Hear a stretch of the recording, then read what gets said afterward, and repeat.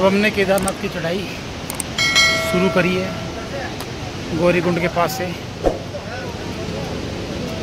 और दर्शन करने जा रहे हैं हम बाबा की कृपा रही तो।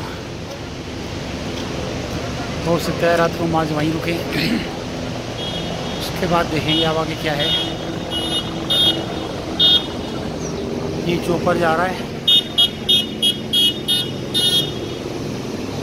और वो बिस्लरी की बोतलें नदी में बह रही हैं पानी के साथ साथ। खाली बोतलें। तो ये मेरे साथ चल रहे थे वो लोग।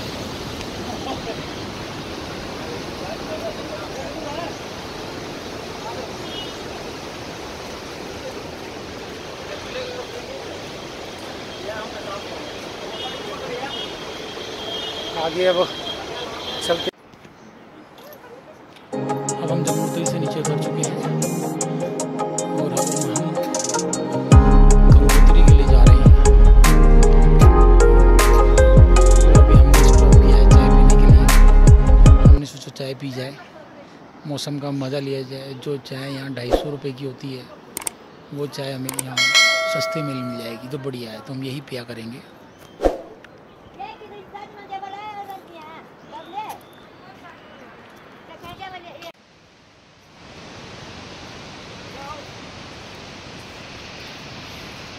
हम जमनोत्री के पास पहुँचने वाले हैं और 200-250 मीटर टोटल रह गया है। उसके बाद वहाँ गर्म कुंड में जाके दर्शन करेंगे, नहाएँगे और वहाँ पर भी एक आनंद लेंगे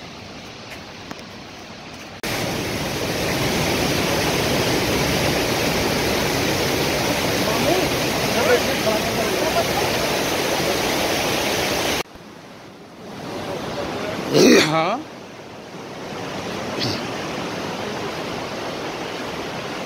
हम लोग इस टाइम यमुनोत्री के रास्ते पे चल रहे हैं और ये जितना भी रास्ता है यमुनोत्री जाने वाला बहुत ही अच्छा रास्ता बना रखा है।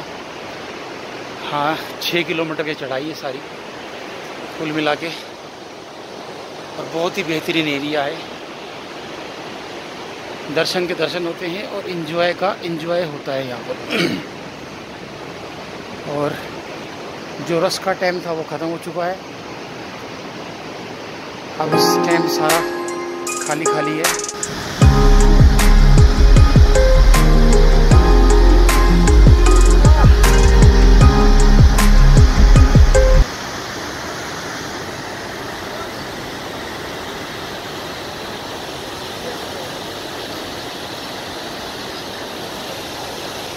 ये केदारनाथ का रास्ता है।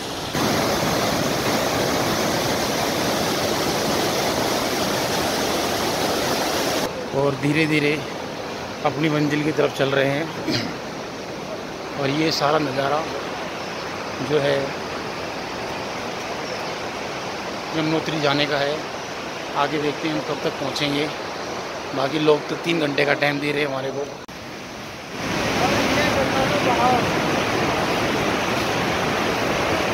ये गंगोत्री है और ये सारे गंगोत्री के घाट हैं। और ये गंगोत्री का मंदिर है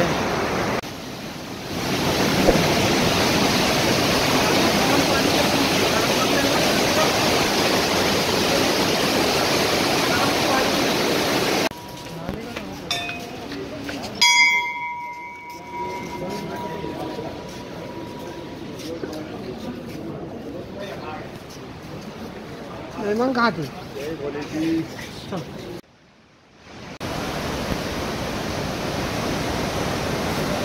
ये केदारनाथ का एक पॉइंट है।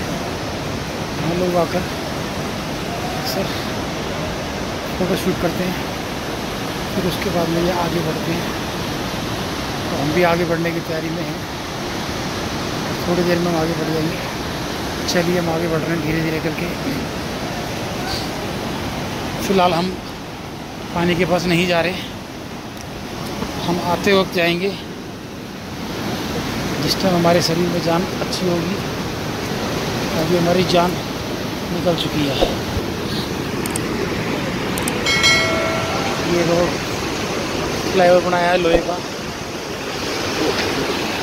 और यहाँ आके हमें कुछ ठंडक सी महसूस हुई है। कि केदारनाथ के रास्ते में पूरा का पूरा ग्लेशियर हमें मिला है। और साइंटिस्टों को ये पता ही नहीं है ग्लेशियर देखो, ये पूरा गया। अब हम जन्नत की तरफ़ बढ़ रहे हैं धीरे धीरे सही गावा के में जन्नत ही है ना। हाँ ये दो।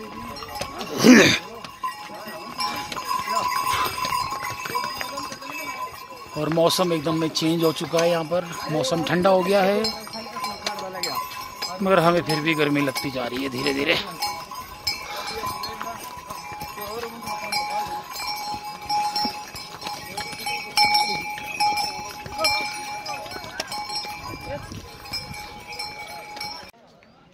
सारा दिख रहा है, ये बादल ही बादल है। हम बादल के बराबर आ चुके हैं। और ये सारे बाबू बूबू इधर ही बैठे हुए हैं, स्विट्ज़रलैंड के अंदर। चाय पीने का चक्कर होगा इनका। चलिए, और हम धीरे धीरे अब अपनी मंजिल की ओर चलते जा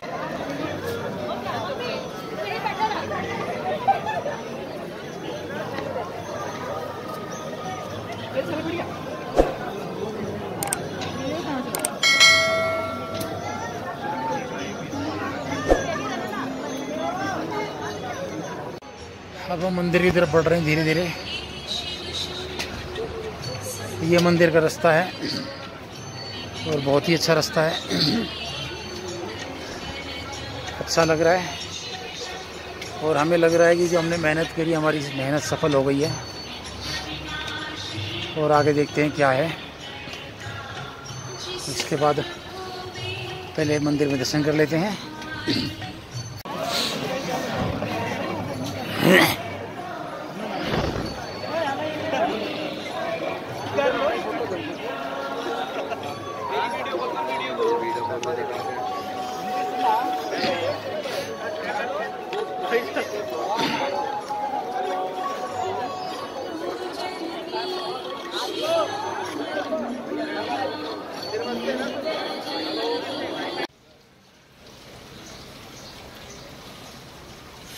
ये केदारनाथ मंदिर के जस्ट ऊपर पहाड़ है और बर्फ़ पड़ी हुई है काफ़ी। इसी को उठा लो, इसी को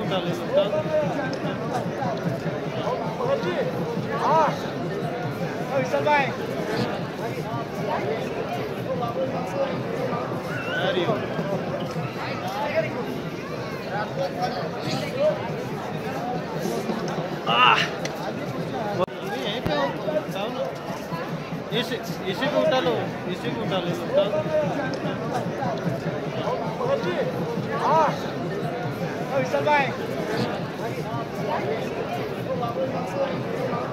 अरे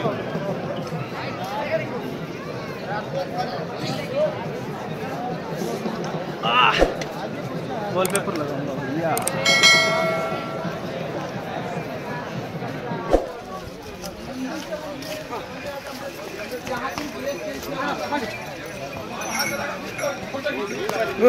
अब हम बद्रीनाथ की तरफ़ जा चुके हैं। और अब हमारा बद्रीनाथ ज़्यादा दूर नहीं है। मोटा मोटी अड़तीस किलोमीटर रह गया और यहाँ का व्यू बहुत ही अच्छा है। मौसम तो ठंडा नहीं है और व्यू बहुत अच्छा है यहाँ। का आगे देखते हैं हम और क्या प्लानिंग है। ये पुल है इस पुल को पार करेंगे अब हम बद्रीनाथ की तरफ़ जा चुके हैं। और अब हमारा बद्रीनाथ ज़्यादा दूर नहीं है। मोटा मोटी अड़तीस किलोमीटर रह गया। और यहाँ का व्यू बहुत ही अच्छा है। मौसम तो ठंडा नहीं है, और व्यू बहुत अच्छा है। आगे देखते हैं हम और क्या प्लानिंग है। ये पुल है इस पुल को पार करेंगे